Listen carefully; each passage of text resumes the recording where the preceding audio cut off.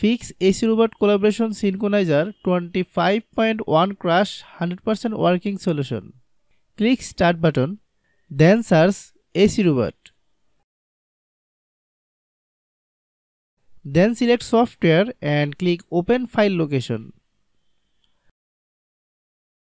Right click App and select Properties.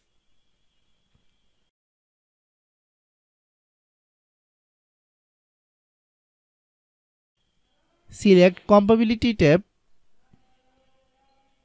then check mark run this program in compatibility mode. Choose operating system windows 7 no matter which operating system you use you will select windows 7 click apply and ok. Hope your problem is solved. If anyone has any problem then follow step 2 Right click app and select properties. Select compatibility tab. Then select run this program as an administrator. Click apply and OK. Hope your problem is solved. If anyone has any problem, then follow step 3. Click start button and type run.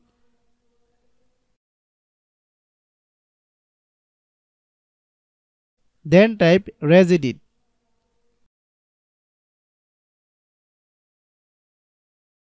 Click OK. Then select Yes. Expand SQI current user. Expand software.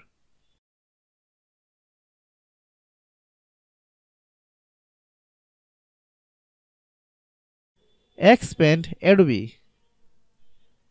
Select and delete the software that is causing the problem.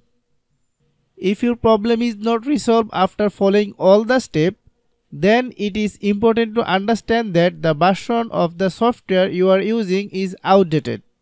You should uninstall the software and install the new updated version from the internet. Hope you understand. I have a request if you are new to channel please subscribe and stay with us. Thanks for watching.